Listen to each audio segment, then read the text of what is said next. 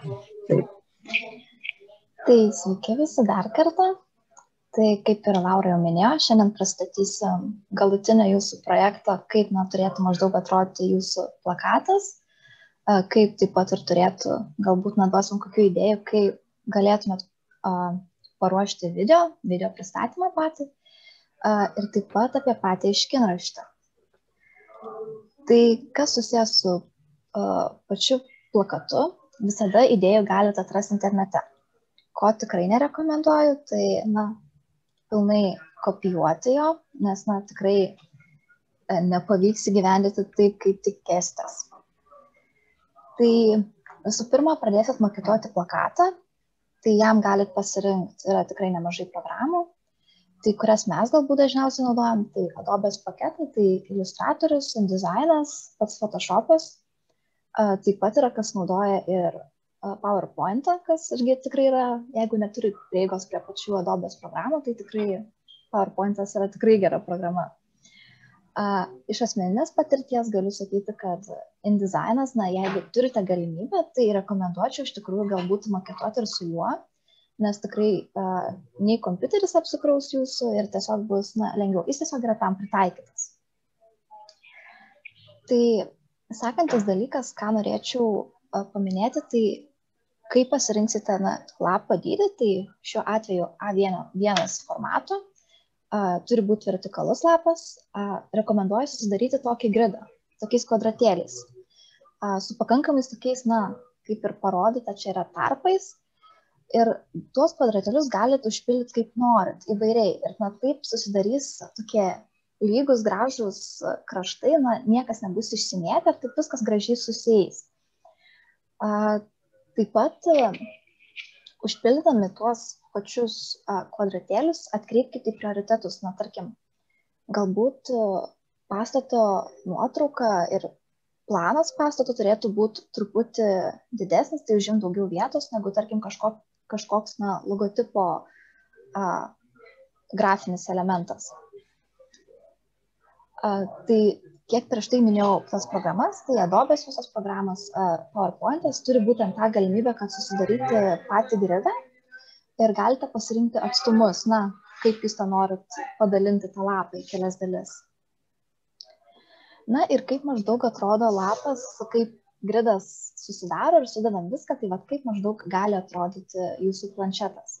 Tai aišku, tik čia yra a, iš konkurso paimtas pavyzdys ir jis yra horizontalus, na, bet esmė yra tame, kad na, vizualizacija yra didesnė, yra šalia būtent teritorijos situacijos toks, tokia schema, na, nesakyčiau, kad planas, bet schema, na ir visa kita papildoma informacija. Uh, oi. Truputį per dėlių failai, nu, bet nieko. Tai pačius planšetus galite pateikti vairiai, nesvarbu, kad, pavyzdžiui, gridas susidaro kvadratėliais, tačiakampiais, tai nereiškia, kad na, visa, viskas turi būti pateikta na, būtent kvadrato ar ten stačiakampio formoms, ten visi brėžiniai. Tarkim, yra atveju, kad na, pastatas yra tokios įdomesnės formos, tai, na, tarkim, kažkur gali ir planšete atsispindėti tam tikri elementai pastato ir, na, tokie kontūrai susidaryti tarkim, vizualizaciją pateikti ar kažkokį žemėlapį kitokia forma negu kvadratas ar stačiakampio. Taip pat kai maketuosite visą planšetą, venkite labai daug teksto. Na, tarkim, iš viso net nedėkite teksto į vieną kampą. Bus labai, na, akiai negražu ir tiesiog, na, mes net kreipsim galbūt į, į tą vietą, a, na, kur yra tekstas. Taip pat venkite remelių, ypač labai ryškių, nebent jeigu jūs daro, tai pasi, pasistengkite išlaikyti balansą juos dedami, kad, na, irgi į kažkokią nuotrauką ar vizualizaciją ar kažkokią kitą, gra, kitą grafinę dalį labai nesutrauktume dėmesio ir visi brėžiniai paliktų, na, nuo šaly, būtų juos sunkiau pastebėti. Gediminai, nori įsipirkti? Jo, aš tai noriu, bet jeigu gali sustabdyti tą ekraną savo. Gerai. Jo, aš tai truputį tokios daugiau praktinės, galbūt ir e, tos tokios vaizduojamosios medžiagos parodysiu. Tai pavyzdžiui, nu, va, daleiskim čia, ar neturim. Tai kaip ir Kristina minėjo, su tais e, kvadračiukais ar nesusiskirstom, kas kur bus, bet va, čia va toks e, aiškesnis, kaip galėtų atrodyti jūsų tas planšetas, ar ne, tai turim kažkokį projekto pavadinimą, turim koncepciją, nes iš karto, kaip pradeda va, skaityti tas pats jūsų klientas, galima taip vadinti, tai jis iš karto žiūri ar ne nuo viršaus į apačią. Tai mato koncepciją iš karto tokius vos netokius svarbiausius, ar ne, e, tai planus, paskui mato, na, pjūvius, e, fasadus, taip pat mato apačioje jau ir tas e, vizualizacijas, kurias jūs norit parodyti. Ir čia šitoje vietoje dar, jeigu matot mano ekraną, tai irgi čia kitas pavyzdys, čia galbūt į tuos formatus nelabai reikėtų kreipti dėmesį, bet kaip pats planšetas ar nesusikomponuoja tai irgi turim kažkokį, čia, va, pavyzdžiui, A1, kur galėtų būti didžiausia ar ne vizualizacija kažkokia, e, kuri reprezentuotų jūsų projektą ir būtų toks kaip svarbiausias atkreiptinas taškas. Tai iš tos pusės vat, irgi būtų galima komponuoti kažkaip panašiai tuos planšetus. Na ir visas e, paskui atsiranda lapuose, ar ne, Na, tai panašiai ir komponuojama. Pavadinimas ar ne, kažkokia tekstinė dalis, kairiai pusėj schemos, kurias jūs norit vaizduoti, dešiniai kažkoks e, didesnis ar net, e, nu, kaip ir e, vaizdavimo tas metodas, kada rodomas kažkokia didesnė struktūra, apačioje vizualizacija, pjūvis. Ir irgi, vat, apačioje irgi tokia kaip vizualizacija, na, jinai galėtų būti irgi tokia te, testinumas, galėtų toks išlikti dalesnė vizualizacija, ne, ir, ir tas dangus kažkaip perina į, į viršų ir, ir tęsi jūsų planšetą, taip tas, ta vizualizacija neiššoka kaip atskiras paveiksliukas. Nes iš esmės, kaip e, peržiūrėjom jūsų planšetus, tai dauguma e, darbų tiesiog, na, yra, nu, žinot, paveiksliukas, daleiskim, baltas fonas ir jūs įdedat į juodą. Tai taip, nu, nelabai gali būti, ta prasme, nu, jie turėtų susilieti su jūsų planšetu, tas koloritas turėtų būti vientisas. Tai čia dažniausiai klaida iš viso yra planšetų darimo. Daleiskim, vat, savo galėčiau parodyti planšetus, tai irgi ar nepradedu, čia toks, na, tas formatas netradicinis, jis pailgas, bet, e, na, irgi matome, ar ne, kad, e, daleiskim, turim ar ne vizualizaciją iš karto, turime pir, pir, pir, pirmiausia rodoma ne vizualizacija, paskui schema kažkokia situacija, Kažkaip labai nepagarbiai nuskambėjo. Kartu kažkokias schemas, ar ne, planus ir, ir paskui įterpiam ir vizualizacijas ir, ir taip toliau. Ir, ir, čia, aišku, tas formatas nelabai tinkantis, tai aš parodysiu pirminių savo projektų, čia pirmo, antram, antram semestrį, pirmo kurso. Tai va, ar neturim vizualizaciją, ne kažkokį pagrindinį ir tada dedame ar ne kažkokius fasadus apačioje, pavadinimą per vidurį komponuojame, planus apačioje dedame ir gaunasi tokia struktūra, kad tu iš karto ar ne, nu, iš viršaus žiūri, reiškia vizualizacija, tai į apačią matai fasadus, dar į apačią matai planus, na toks, e, toks reprezentuojantis, ar ne, iškart pamatai, iškart ką, ką pamatysi struktūroje ir paskui žiūri į tuos techninius dalykus tai pas jūs irgi turėtų kažkas panašaus įsivaizduoti. Nu, čia Vila Savoja, tai irgi, ar ne, kažkokia vizualizacija, kažkoks e, paveikslas pirminiai, e, pirmam plane, paskui eina, e, daleiskim, ta situacija, aprašymas dešiniai pusė, na ir į apačią eina jau planai ta techninė informacija. Na ir aišku, jūs čia pagal tą prioritetą galite viską keisti ir vietom, ta prasme, bet, bet turėkite omeny, kad kas jūsų projektai yra svarbiausia, ne tą jūs dedate į pirmą planą. Ir tai turėtų būti arba viršuje, ar ne, e, arba, arba nu, pagrindę viršuje. Tai, tai jūs nelabai galite galite, aišku, laviruoti, bet turite nuspręsti, kas jūsų projekte svarbiausia. Tai čia yra vienas iš pagrindinių tų aspektų. Tai Kristina, jeigu nori, gali dar kažką papasakot. Gerai, truputį užsiminiai apie juodą foną ir... Gal a, blogus pavyzdžius parodė? Ne, viskas gerai buvo. Tai tarkim, jeigu taip nutinka, kad na, turit kažkokį foną, kurį norit pasirinkti ir turit brėžinius ar kažkokias schemas ir, na, arba jos tiesiog tam kažkokiam fone išnyksta, arba jos, na, tiesiog keistai atrodo, arba, va, tarkim, na, tarkim, apkeiskime vietom. Čia būtų, tarkim, spalvota šita didžioji dalis, na, o čia būtų balta, na, atskirais tokiais mažais paveiksliukais. Tai ką gali daryti, kad, na, tiesiog sudaryti tokią juostą su ta pačia spalva, ir tiesiog sujungti tos elementus į vieną. Ir na, tada toks vientisumas gausis ir truputį na, atskirs, padalins tą jūsų lapą. Tai sekantis dalykas, kas yra pakankamai svarbu, tai šriftai.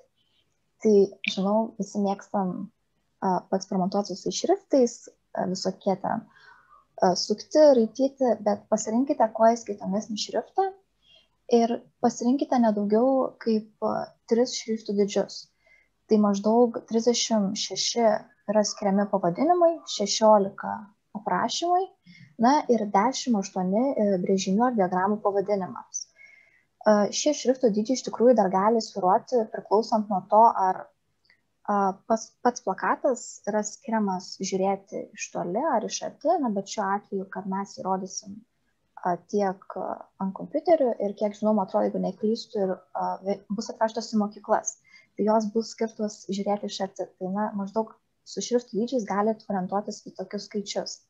Bet aišku, pasižiūrėsite pačiame planšete, gal kažkur sumažysit ar padidinsit, jeigu reikės, tarkim, pavadinimą. Tai manau, kad teko jau maketuoti vieną planšetą, na, aišku, dar galbūt kiti na, nepagavo, kaip kartais reikia viską suderinti.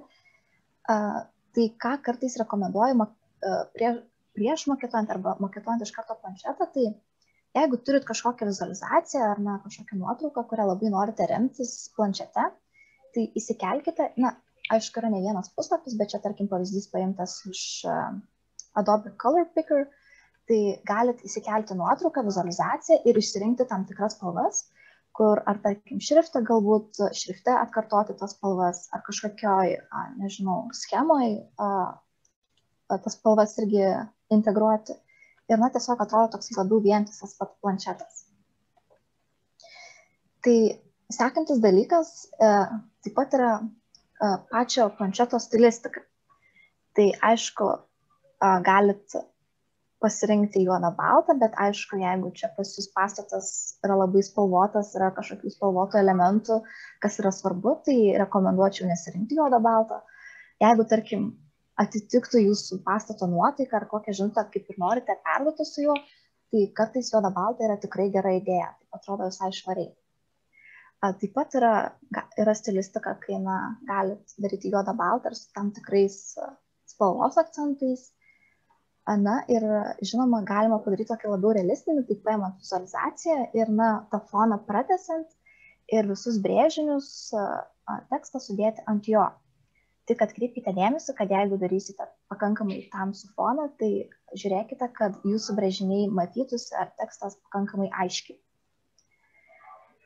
Sekantis dalykas, kas jums iš tikrųjų labai pasisekė, tai a, pats pristatymas, tai kad teks padaryti video iš tikrųjų leis jums daug labiau kūrybiškiau išsireikšti ir taip pat laiko sutaupysit, kiti gal ir nervinasi prieš pristatymą, tai šitas dalykas irgi šiek tiek pagerina situaciją.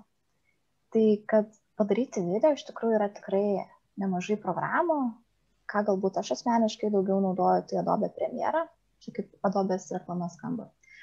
Bet Taip pat galite ir su PowerPoint padaryti tokį video. Taip pat žinau vieną kursioką, kuris vieną video pristatymą darė, na tiesiog ranka piešia ant lentos. Tai irgi yra tikrai įdomių sprendimų, kaip galite pateikti savo video. Tai ir taip pat tada, nežinau, jeigu Gediminai nori kažką paminėti apie video, tada galėtume parodyti savo tai pavyzdžius. Nežinau, tai, jo, tai gal parodom pavyzdžius, tai parodyk. Gerai. Tu paskui aš parodys. Tai pasikeisiu tada ekraną, tai praeitais metais, kadangi mes patys nuotoliniu dirbam, tai teko irgi daryti pristatymus a, būtent video formatu.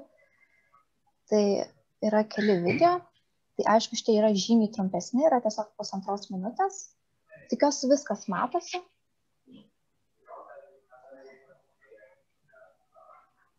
Matosi, tik garso nėra. Tai aš tildžiau. Tai viskas čia yra tiesiog papasakoma pati idėja, į ką yra orientuojamas projektas, na ir pats pavadinimas. Visos koncepcijos, na aišku, galit viską animuoti, galit ir ranka piešti ir įrašyti, tikrai yra galite ir papasakoti, kad, nu, tarkim, yra tikrai pilna variantų, kaip galite pateikti.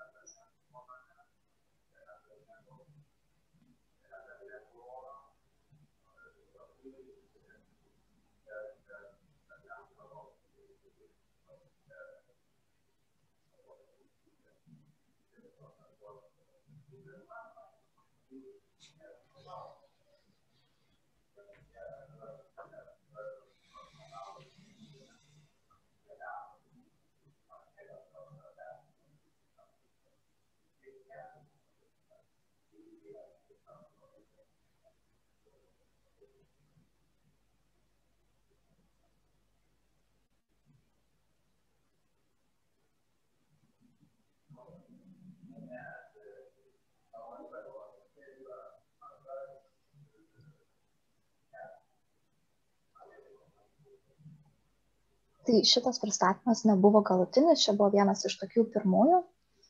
Ir jeigu, tarkim, neturit, na, kaip, nežinau, yra, aišku, tikro, tam tikros vizualizacijos programos, kur galima padaryti tam tikras animacijas pastato, bet, aišku, jeigu negalite tai padaryti, bet turite modelį, tai visą laiką galite rašyti ekraną ir, na, pasukinėti tą patį modelį ir pristatyti. Tai čia, tarkim, tokia antra dalis, na, to pristatymo jau daugiau buvo išvystyta jo.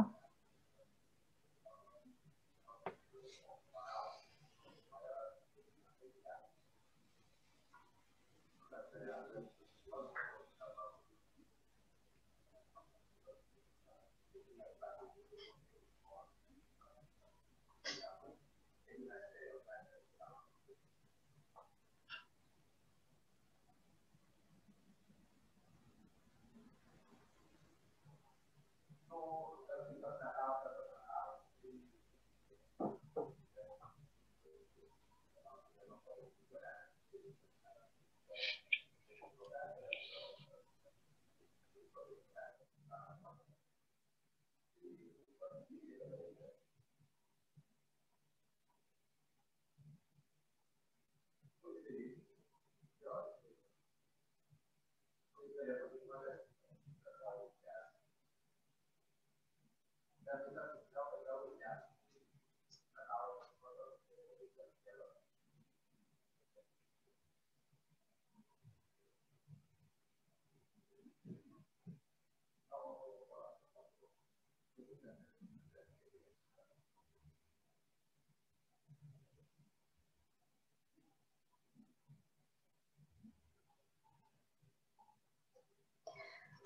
Ir, na, aišku, dar yra vienas video, tik nežinau, ar jis pakankamai yra ilgas darželio, tai gal truputį tik dalis, na, tarkim, parodysiu. Tai yra darželio projekto, kad, aišku, čia buvo video pritaikytas, kad jį kartu įrodyti ir kartu kalbėti, na, pasakoti viską. Tai iš tikrųjų tikrai yra variantų, kaip galite viską pateikti. Čia aš taip greitai, na, tarkim, kaip sklypo, bet koncepcija gali būti pristatyta su įvairiom tiesiog ikonom įskandančiom.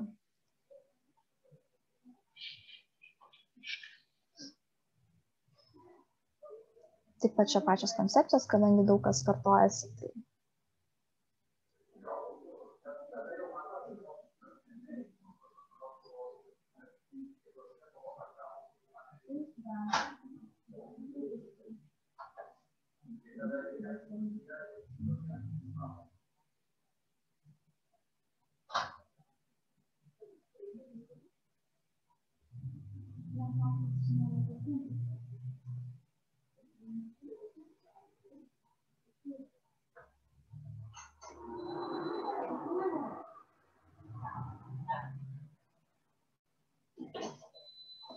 Tai šitas labiau toksai, na, turi daugiau animacijų, nes būtent buvo ir tam pritaikytas, kad, na, viskas yra paaiškinama. Tai kadangi jūs, nežinau, ar jums bus leidžiama kalbėti per pristatymą, tiesiog video bus. Tai Aš gal pridursiu, tai iš tikrųjų turės būti video be jokių komentarų. Tai geriausia būtų komentarus rašyti iš karto arba parašyti, sakysime, arba parodyti ženklais kažkaip tai, ar ne, kad būtų viskas aišku iš video. Tai, tai muziką geriausia uždėti tokiu atveju, kad būtų smagiau klausyti. Arba įgarsinti. Gediminai? O kalbant apie įgarsinimą, tai pas mane irgi, aš turiu vieną išlikusi mm, savo e, projekto, jungtinio projekto videoklipą. Ir čia mes pas Kristiną matėm labai išdirbtą, e, gražiai apiformintą mm, vaizdo įrašą. Aš parodysiu, kaip e, pateikti darbą, kai dar nėra iki galo padarytos vizualizacijos ir yra toks E, teritorijos, reiškia, analizės etapas. Tai tuo aš tada įjungiu, įjungiu, įjungiu savo ekraną. Mm. Matot mano ekraną dabar? Vaizdo įrašą matot? Matom. Gerai, tai aš įrodau su garsu.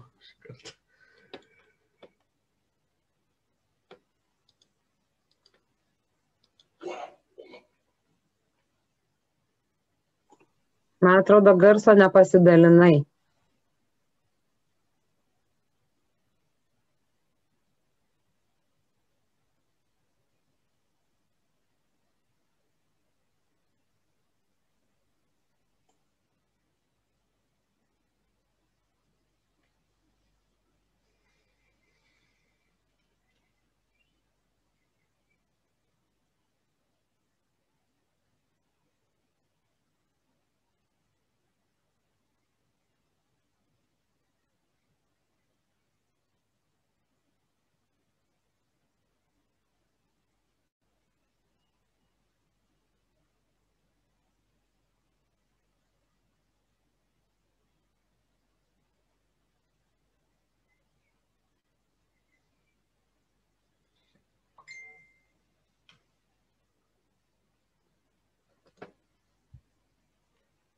Nėra garso?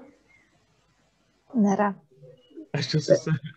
Nėra, nėra, nes esmė tame, kad tu turi pasidalinti prieš dalindamas langą garsą. Sakiau tau, bet negirdėjau.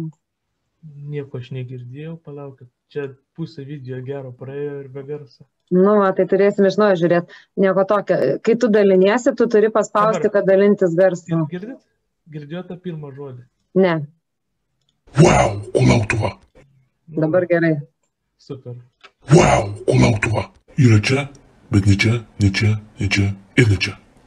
Jūs ką, rimtai tengi Kaunas, gerai dabar rimčiau. Kulautuvos herbas yra toks gyventojų skaičius 1537, tai panašu į gelbėtojų numerį, bet nėra gelbėtojų numerį. Bet jūs, mes esame gelbėtojai, bet netokie, netokie, netokie, netokie ir tikrai netokie. O tokie, bet ne daktarai ir ne gelbėtojai. O, kulautuvas gelbėtojai, architek šeši. O kodėl kulautuvas, nes matomas paklausos augimas, galimybė plėtimas, įrodomas eks-vadovų susidomėjimas, bei atsiveria nuostabus vaizdai. Bet tai kokia ta jūsų vizija? Protinguolė.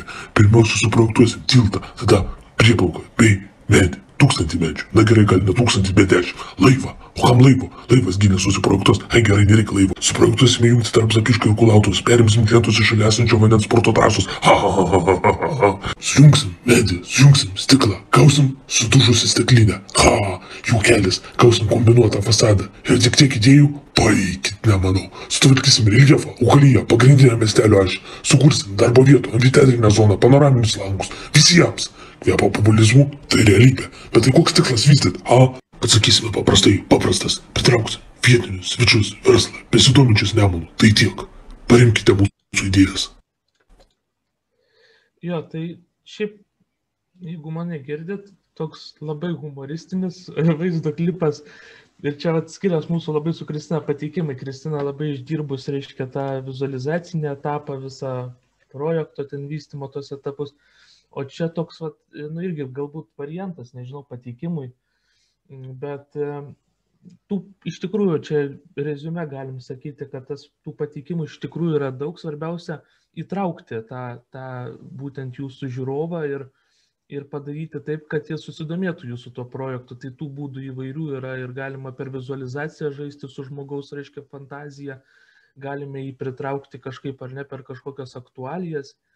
Ir abu būdai iš tikrųjų nėra blogi, svarbiausia rasti tuos būdus. Tai čia galbūt mūsų tie projektai ir paro, e, mūsų tie vat, vaizdo įrašai parodysim tuos e, geriausius kelius, kaip prieiti prie širdies ar ne e, žiūrovų. Tai, tai va tik tiek, ačiū uždėmesi iš tikrųjų. Mhm. Ačiū, Gediminai, gali nustoti dalintis ekranu. Mm. Kristina? Tai viskas kaip ir iš mano pusės jau irgi buvo. Mhm. Tai iš tikrųjų, e, dar aš gal norėčiau tik tais pridurti, ar ne, kad iš tikrųjų tai, ką vat, pasakė, ar ne, e, yra labai svarbu turbūt išlaikyti, ar ne, kad e, jūsų plakatai, pavyzdžiui, ir net tie, kurie bus pateikti, tai jūs turėsite tam tikrą šabloną, tai A1 formato. Tai tas yra labai svarbu, A1 formatas, vertikalus lapas, turėtų išlikti viršuje užrašas, galvutė ta vadinama yra pačioje, ar ne ten e, užrašas ir, ir dizainas, o toliau turinys, vad kaip Kristina minėjo, iš tikrųjų tai, ką jūs turite pateikti, norite pateikti tam plakate, kombinuokite, dėkite, akcentuokite tai, kas svarbiausia. Tai kaip paminėjo Kristina, kas yra labai aktualu, ar ne, tai yra, kad mes skaitome kaip ir knygą iš kairės į dešinę, taip ir plakatą skaitom iš viršaus, iš kairės į, į dešinę, į apačią, ar ne, taip ir seka eina informacijos visos. Tai yra labai svarbu, ar ne, ir tuo pačiu svarbu, ką jūs norite akcentuoti. Ar jūs norite akcentuoti savo logotipą, kai, ar, ar jūs norite akcentuoti pastatą, ar ne, ir tą sprendinį. Tai kas yra didesnis, ar ne, kas yra mažesnis. Tai va, o dėl video, tai kaip ir minėjau, e, kad iš tikrųjų galutiniam pristatymui reikės pateikti video, kuris turėtų būti iki, kiek mes sakėme, man atrodo, trijų minučių e, ilgio ar ne? Penkių. Ar penkių minėjom, penkių turbūt, e, penkių minučių ilgio. Tai iš tikrųjų galite įvairiai, kaip ir matėte, tų variantų yra įvairių, galite tik tais rodyti vaizdus ir tekstą surašytą schemomis, galima įgarsinti kažkaip. Tai svarbiausia, kad jūs pateiktumėte savo idėją, tą savo sprendinį viso to semestro, semestro viso to e, metų ar nesprendinį, kurį jūs e, sprendėte nuo pradžios iki pabaigos, kad būtų aišku visiems, kas žiūri iš tikrųjų, susidarytų tą įspūdį. Ir tas Gedimino filmukas tai labai toksai smagus, man atrodo. Tai aišku, galbūt nereikėtų tuo labai susižavėti, tik tais įsi, svarbiausia, kad yra pateikti tą informaciją. O kaip jūs pateiksit, tai iš tikrųjų tų variantų yra labai daug ir tikrai, kas sakys, neturim vienos ar kitos programos, tai mes tokiu atveju sakom, PowerPointas iš tikrųjų galima ir plakatą susimaketuoti, ir video pasidaryti iš jo, iš tikrųjų daug yra tų galimybių, kas galite kitom programom, tai yra iš tikrųjų privalumas arba tiesiog jūs sudarysit geresnį gal įspūdį arba tiesiog bus lengviau pateikti medžiagą. Tai va, tai iš tikrųjų iš principo yra tiek. Matau, kad e, Gediminas e, įkėlė, ką Gediminai čia įkėlė tu mums? Jo, tai aš į linkus tokius paieškau, tokius vos ne labai nišinius iš tikrųjų. Čia galima sužinoti tą informaciją, kaip komponuoti planšetą ar ne.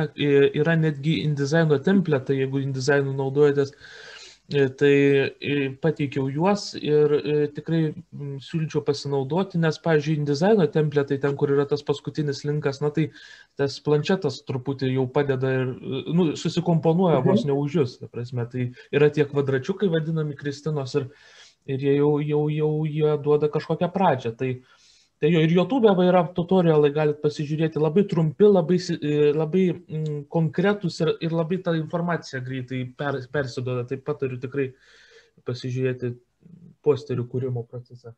Mhm. Tai gerai, tai ačiū, gal yra klausimai dabar kažkokie tai. Aš turiu. Um, kiek laiko turėtų būti filmukas pristatymo? Tai man atrodo penkios minutės, iki penkių minučių. Pratau, ačiū. Gal dar kažkokį klausimą turite? Mano dar toksai gal jau turėtų jau seniau būt būtas paklaus klausimas. O, o kur geriausiai, kur architektai daro brėžinius? Pačiu aukštu, arba kaip jūs darėt, tuos buvo visi aukšti vienoje nuotraukoje ir pa, nu, kaip vienas ant kito tik tai tarpai. Kaip mums tai gyveninti, kaip mums tai, gal turit pa, paaiškinti, per kur. Kristina? Čia apie schemas gal kalbėt? Čia buvo ta schema, kur tavo brėžiniai. ryšys yra tarp aukštų, vienas virš kito Ai. išdėlioti. Tai mes kaip realiai užtenka turėti pastato 3D modelį ir kaip mes darom, tai turim revitinį modelį ir nusikertam tas tam tikrų aukščių, nusipjaunam ir na, turim tokį 3D vaizdą realiai pastato ir tada į Photoshopą įkeliam. Jo, čia Kristina Perevita, šiaip e, manau, kad dirbat kažkas ir su SketchUp, ne? Tai su SketchUp irgi galima pasidaryti aksonometriją, aš jeigu turiu kokią nors dviejų minučių intervalą, aš galėsiu parodyti. E, Tai pas save irgi modelį.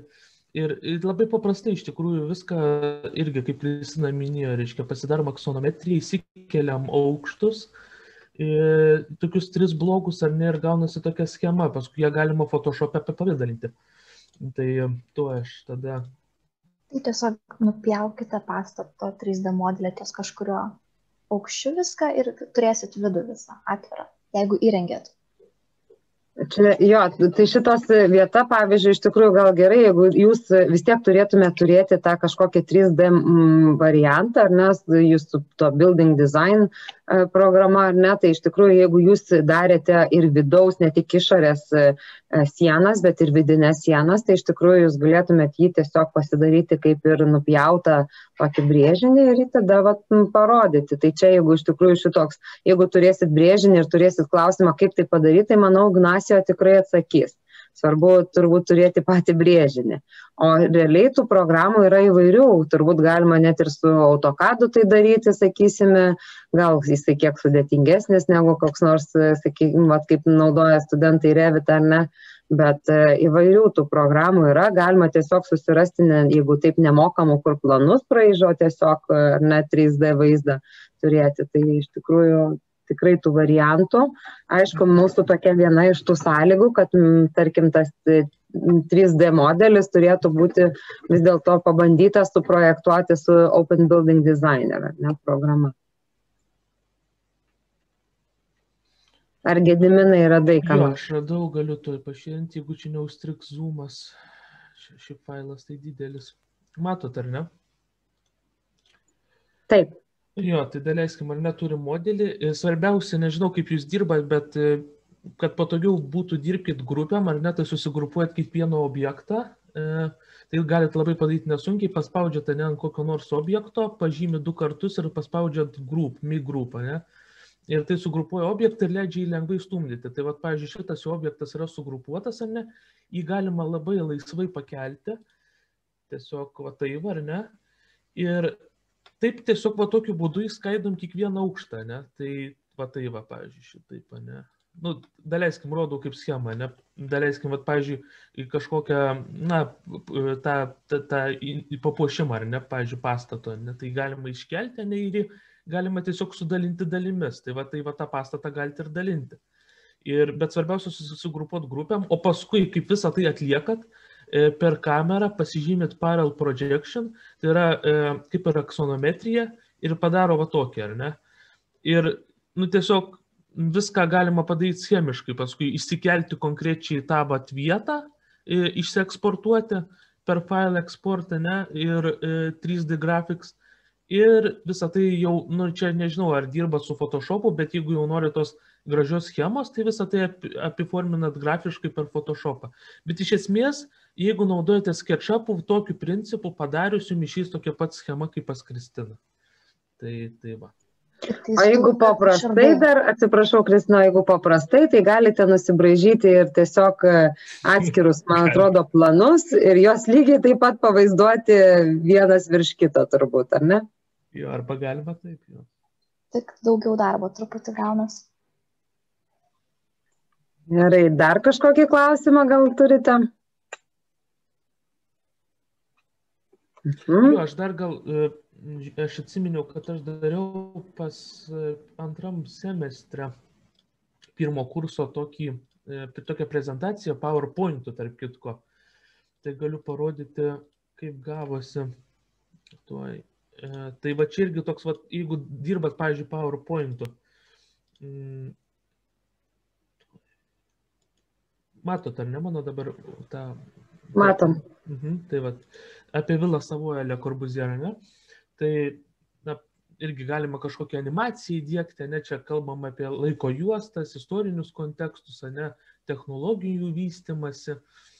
Čia, na, aišku, bet ta prasme, va, irgi PowerPoint'ų daryti ir viską galima tai pavaizduoti. Tai, tai iš tikrųjų čia tų grafinių atvaizdavimų tai tikrai yra galimybė ir, ir va čia kalbam apie grinai Le Corbusier biografiją. Na ir va čia, va, tai čia yra va, grinai va, pavyzdys, mm, schemos, ar ne, kaip Laura sako, e, nebūtina čia daryti tos kažkokios 3D e, aksonometrijos sketšapę. Čia yra planai, grinai planai.